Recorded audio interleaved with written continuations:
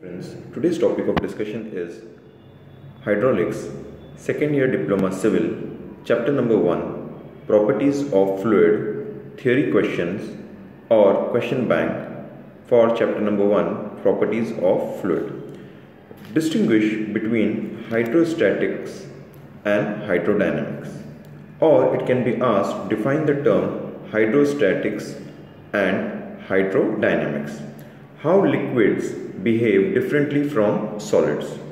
Question number 3. State the importance of hydraulics with respect to irrigation and environmental engineering. Different definitions can be asked. Here I have listed the expected definitions which can be asked.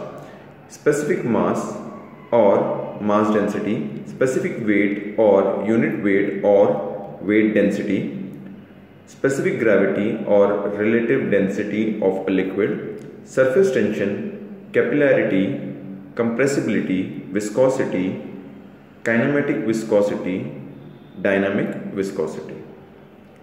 State units of the following properties specific weight or unit weight or weight density, surface tension, viscosity or dynamic viscosity, kinematic viscosity, mass density or specific mass.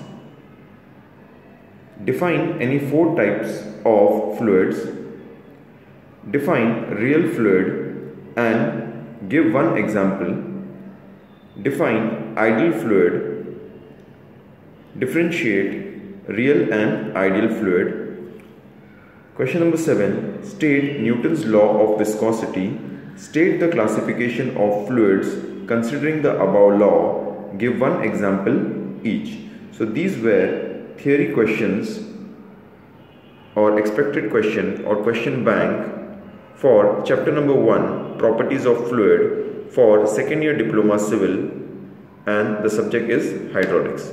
Please like, comment, share and subscribe. Thanks for watching.